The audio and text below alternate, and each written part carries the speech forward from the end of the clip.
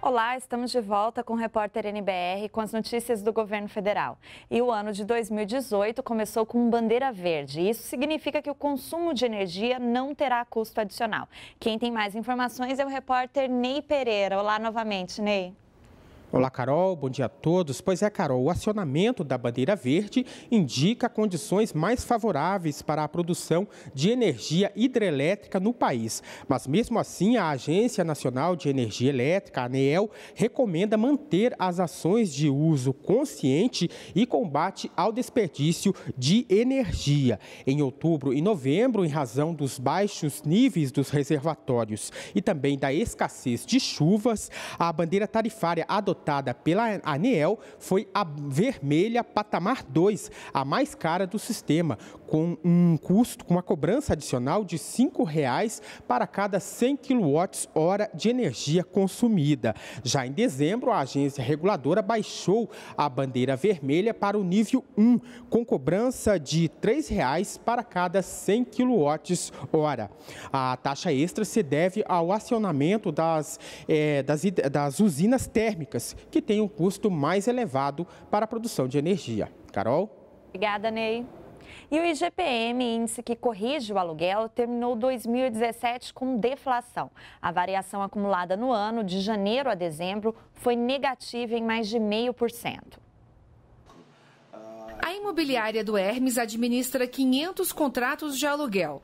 Na hora de renovar a locação em 2017, 90% deles mantiveram o mesmo valor. Para o proprietário é muito mais interessante negociar o valor do aluguel mantendo um bom locatário do que o imóvel desocupar e colocar o preço no, no mercado a um preço mais baixo. Localização, tamanho e estado de conservação são alguns dos fatores que influenciam no valor do aluguel. Já na hora de reajustar o contrato, a maioria usa o índice geral de preço mercado, o IGPM, que fechou o ano negativo, ou seja, com deflação. O IGPM teve queda de 0,52% em 2017 foi a primeira vez desde 2009 que o índice ficou negativo. O resultado também é a segunda taxa anual mais baixa desde o início da série histórica, há 28 anos. Essa queda foi importante porque foi a segunda queda da série histórica no fechamento do ano, né, que o IGPM registra. Em 2009,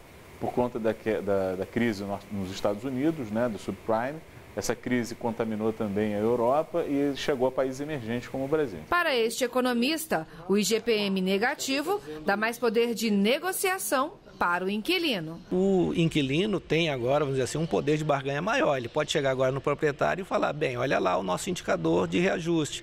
Então, eu gostaria que o nosso eh, o valor do aluguel fosse é, é, reajustado para baixo.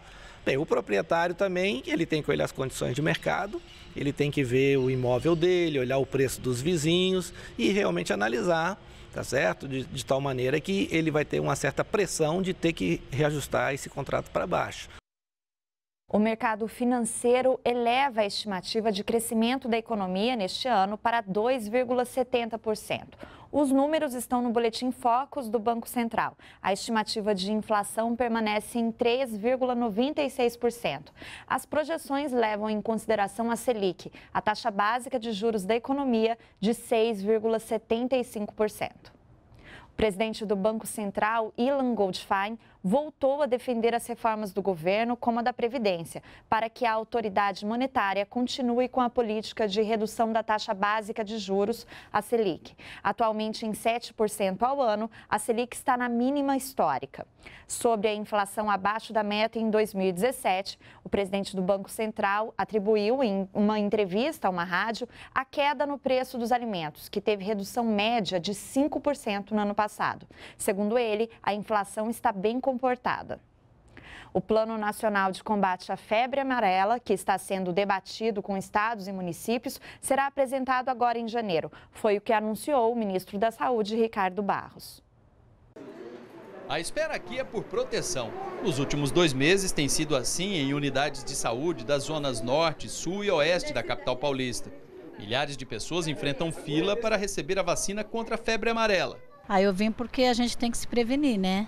E como está acontecendo tudo isso que está acontecendo com a febre amarela, eu nunca tomei a vacina e resolvi participar e tomar a vacina. Fabiano foi com a filha tomar a vacina. Como está tendo surto e aqui na, a gente mora perto do horto, essas coisas todas, então vamos tomar para ficar já protegido, ficar tranquilo. Uma dose é suficiente, mas a pessoa só fica protegida depois de 10 dias. A vacina é segura, mas gestantes, mulheres que amamentam bebês com menos de seis meses, crianças menores de nove meses de vida e pessoas com problemas de imunidade não devem tomá-la.